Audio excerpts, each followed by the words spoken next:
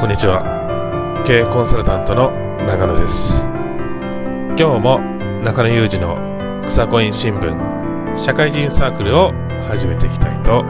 思います。草コイン新聞購読視聴規約。ここでねこの動画を一旦止めていただきましてここに記載されている第1条から第7条の文言を大きな画面にして一語一句読み飛ばすことなくお読みください。どこか一箇所でもね承諾できないという方がいらっしゃいましたらこの動画の続きを見ることはできません。すべ、えー、てね承諾できると一語一句承諾できるという方のみこの動画の続きを見ることができますので、えー、念を押しておきますがご注意ください。それでは行きましょう。LINE に登録してくださいね。そして感想をお寄せください。ステッカーを販売しております。毎日たくさん売れてます。1枚600円です。令和2年1月5日日曜日草コイン新聞社会人サークル中野研究会ということでね、えー、今ね時刻が12時9分ですねまだ1月5日始まって9分しか経ってなくて真夜中なんですけれどもえー、っと、まあ、早急にね、動画を撮らなくちゃいけない情報が入ってきましたので、えー、動画を作ってます。で、本日のお題なんですけれども、まあ、渦中にあるですね、えー、元日産会長のカルロス・ゴーンさんなんですけども、まあ、自殺をするということでございますね。で、まあ、ホリエモンの説明が分かりにくかったので、私の方でね、説明してみようかと思います。まずですね、あの、いろんな人がいろんなこと言ってるんだけども、えー、カルロス・ゴーンさんがね、あのー、まあ、逃亡したのはですね、日本から逃げたのは、プライドを保持するためですね。はい、プライドが高かったのでね、えー、まあ、事の善悪は分からないですよ。その、本人とか当事者じゃないから、その、いや、そう、ね、カルロス・ゴンさんは悪いことしたのかしてないのかっていうのは全く分かりません、私はね。検察が、あの、えー、国際司法に準拠しないでね、あの、拘束をずっとしてるとかね、そういうことは一切分かりません。どこまでが本当なのか、どこまでが嘘なのか分かりませんが、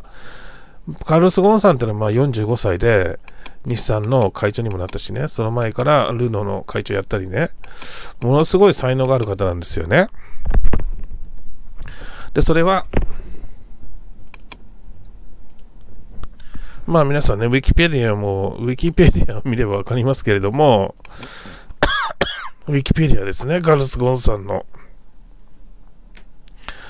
えー、っと、まあ、両親は、まあ、これちょっと大きくしてみようか。両親はレバノン人で、ブラジルで誕生したんだけどもね、まあ、両親が、まあ、レバブラジル行ってお仕事されてたと思うんですけどもね。で、幼少期はブラジルで過ごしたけども、もともとはレバノン人なんですよ。両親がレバノン人だしね、自分もレバノン人なんですよね。で、中等教育は父の母国であるレバノンのベイルートで受けましたということですね。はい、ということになってます。そして、えっ、と、18年間 まあ、ミシュランにも入ったってことですね。フランス大手タイヤのミシュランにも入りましたと。で、ミシュラン社での業績が評価されてルノーに上席副社長としてスカウトされましたということですね。それが1990年、99年3月、えー日えー、日産がルノーと資本提携を結び、当時6月ルノーの上席副社長での職であったゴーンさんが、45歳で日産自動車の最高執行責任 CEO に就任したと。ですからね、ものすごいね、その頭のいい方ですし、品のある方ですしね、え高等教育を受けた方でもあるんですよね。で、まあ、あの、早稲田大学、まあ、法政大学の名誉博士、早稲田大学からも名誉博士を 授与されてて、まあ実際には博士論文出してないけど、名誉だからね、ただの、まあ、称号ですけれども、そして外国人経営者として初めて、まあ、天皇陛下から勲章をもらっているということですよね。で、その他の国からも、えー、ナイトコマンダーっていうナイトの称号をね、あのイギリスからももらってますよということで、ものすごい、まあ、あの一般ピープルとは違うってことですよね。まあ、一般ピープルじゃないんですけれども、まあ、その人が、まあ、あのまあ、日産のね、会社のお金を使い込んで、えー、しまって、えー、まあ、会社法、会社法違反というか、特別背任なんですかね、会社法違反で、まあ、今、事情、聴取受けてて、えー、拘束されてるということですよね。それで、えそれは、まあ、ゴーンさんが、まあ、悪かったと思います。はい、お金ね、会社のお金そんな使っちゃダメでしょって。そんなお金あったら、ね、そんなたくさん人を、えー、リストラしなくてもよかったでしょうと。そしてそんなにたくさんね、あの工場を閉鎖しなくても、ザマ工場とか閉鎖しなくてもよかったんじゃないのと。いや思われてもそれしょうがないね。で、本当のところはどうだか分かりません。カルロス・ゴンさんが日産の会お金、会社のお金をね、まあ、FX で5億円負けたらしいですけど、カルロス・ゴンさん。それも日産があの立て替えて払ったとかね。まあ、むちゃくちゃな話がいっぱいありますけれども、それは当事者じゃないのでわからないですけれども、えー、まあ普通はね、日本から逃げるこ、逃げたら、まあ捕まるに決まってんじゃないですか。国際警察、インターポール、銭形警部がいるからね。まあ最、昔はですね、ブラジルとか逃げちゃうと、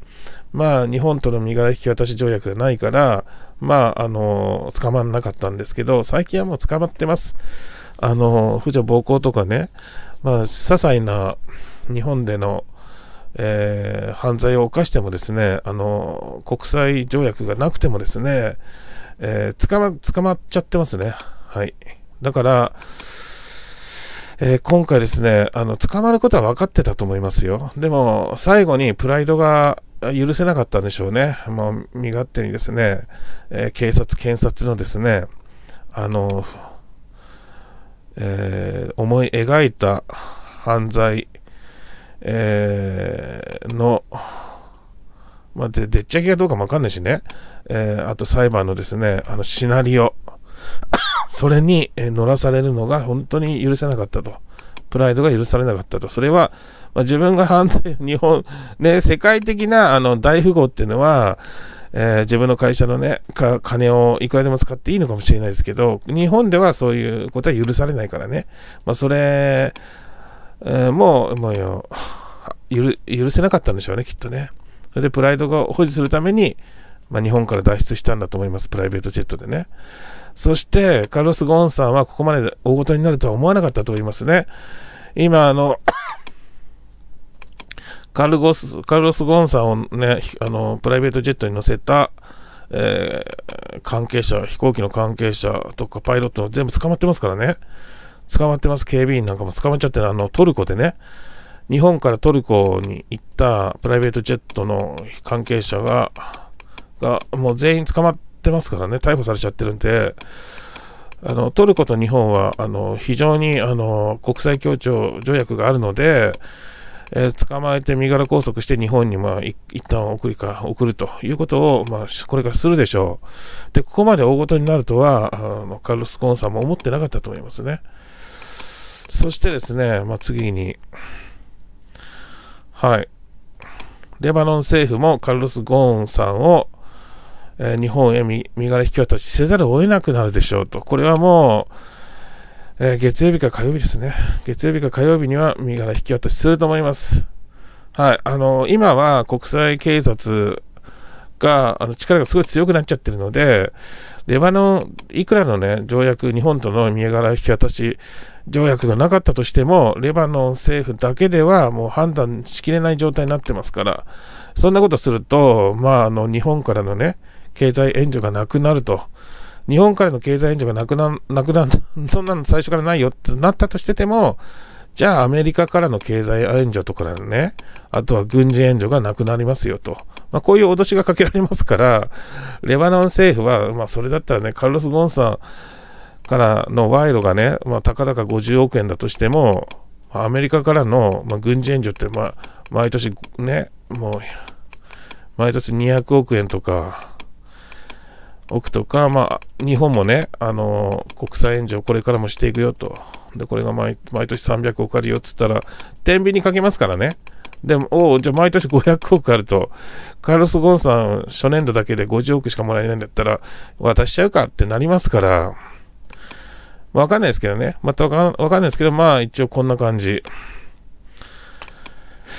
そして4、カルロス・ゴーンさんはいくつかの選択肢を用意している人は思いますけどね、また、じゃあ、あの、レバノン政府が身柄を引き渡しするんだったら、またここからどっか逃げようかっていうね、プライベートジェットでね、そういう選択肢もあると思いますしね、船で逃げるっていう選択肢もあると思いますけれども、右は身柄渡しとなれば、さらなる逃亡はせずにですね、まあ、どこ行ったって一緒ですから、ここからまたあのシリアに逃げたりね、イランに逃げたり、え、しても さらにですね、カルロス・ゴーンさんのプライド、プライドっていうか、あの、まあ、知名度がですね、落ちるだけですから、まあ、自殺を選択すると思います。これは、うん、これは誰が考えてもこうなると思います。はい。まあ、そもそも、あの、まあ、今回レバノンっていうところがね、えー、自分の地元の国ですから、え、どうせ死ぬんだったらレバノン、自分の国で死にたいという気持ちがね、すごい強かったんだと思いますね。ま私個人的にはかわいそうでならないですね。かわいそうでかわいそうでならないです。個人的にはですよ。全体的にはよくわかんないからね。で、5、カルロス・ゴーンさんは武士の切腹を選択してですね、まあ本当に切腹するかわかんないですけど、まあ睡眠薬とかね、武士にだけ許された、えー、名誉の死ですね。切腹っていうのは名誉の死としてですね、まあ、自殺をして末代にまで渡り尊敬されるだろうと。まあ、あの、カルロス・ゴンさんをね、ここまで追い詰めてしまったっていうのは本当に良くないことだと思いますよ。もっといろんな選択肢があってよかったと思いますが、まあ、思い悩ませてしまったっていうのは良くなかったと思います。弁護団も含めてね、良くなかったと思いますね。はい。で、最後に残す、まあ、最後にね、カルロス・ゴーンさんに残されたのは、武士にだけ許された名誉の死なんですよ。まあ、これをやれば、スウェーデンに渡りですね、まあ、あのレバノンにいたあのカルロス・ゴーンというのは、あの名誉の死を選んだと、素晴らしい人材だ人物だったんだというなるなるでしょうね。そして、えー、善悪はともかくとして司法制度、日本の司法制度をね、まあ、カルロス・ゴーンさんっていう、まあ外、外国人なんでね、どういう気持ちでいたかっていうのは、まあ、計り知れませんよね。だから日本のせ司法制度も改革の段階に来ているんじゃないかなと。あの善悪はともかくとしてね、まあ、あのカルロス・ゴーンさんを追い詰めてしまったと。あの自殺するか分かんないけれども、まあ、自殺する、まあ、まずはあの日本から逃亡させてしまったというこの思い込みですね。思い込ませてしまったと。まあ、もう少しカウンセリングをつけたりね。えー、追い詰めるのじゃなくて、何かあったんじゃないかなって僕は思います。はい、自分がこういう風になっちゃったら、自分も名誉の死を選ぶと思いますね。うん。自分でね、言いたいことも言えずにね、えー、まあ、全世界に向けた発言も許されずにね、まあ、そういう状態になった中でですね、まあ、最後に残されたのは名誉の死だということですね。で、これはですね、あの、思い起こせばですね、日本にもありましたね。えー、中心蔵ですよ。中心蔵でですね、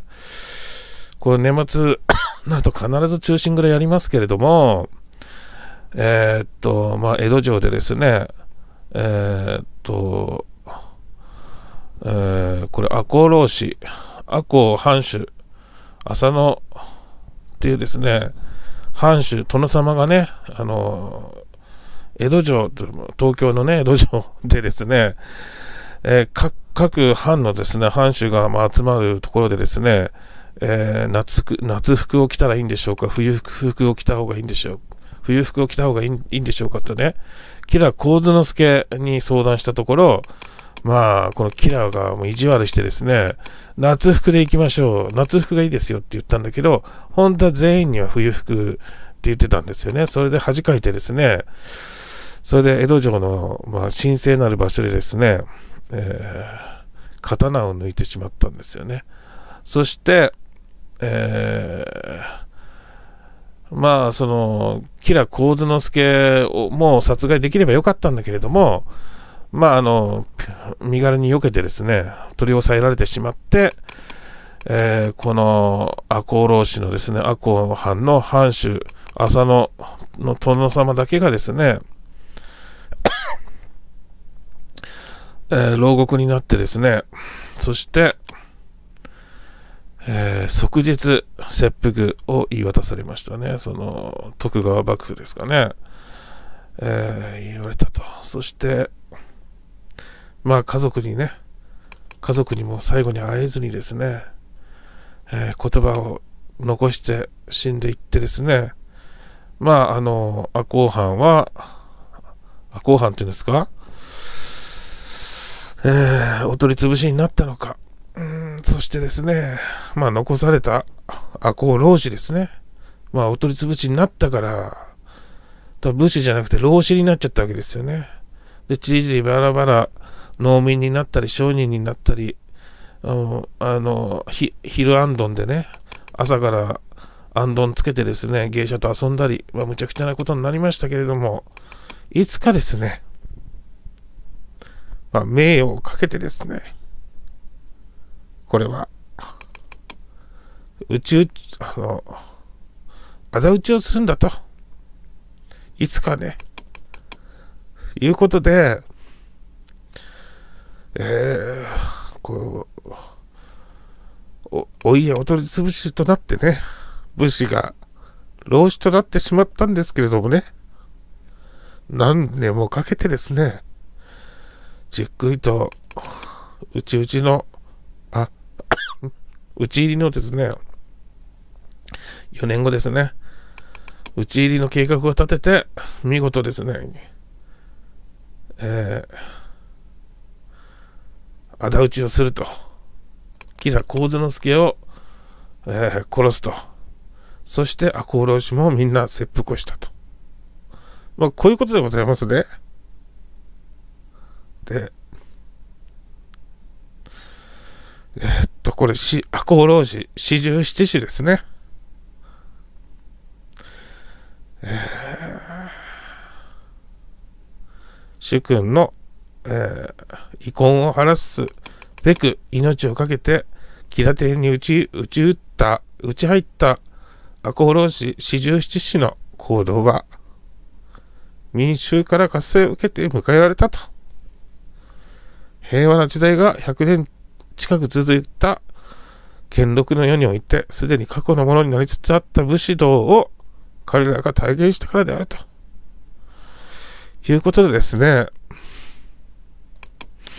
カルス・ゴンサをね、やっぱり今、彼の思いはね、なんとも無念だと思いますよ。まだ生きてますけどね。で、多分、身柄を日本に引き渡しされたらね、もちろんこれは、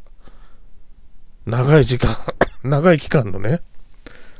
牢獄生活が待ってますよ。まあ、5年か10年ぐらいのね、牢獄生活が待ってると思いますね、日本でね。今、65歳ですけれども、70か75になってようやく出てくるのであれば、家族もいるだろうし、周りの、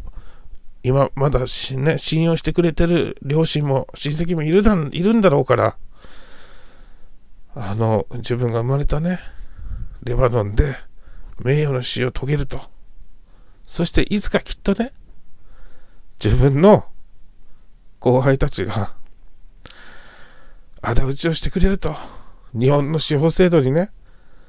日産にね、仇討ちしてくれると。それを願っているのかもしれないですね。どうなるか分かりませんけれども、私はこのように考えております。それでは、今回の動画はこれで 終わりにさせていただきます。ありがとうございます。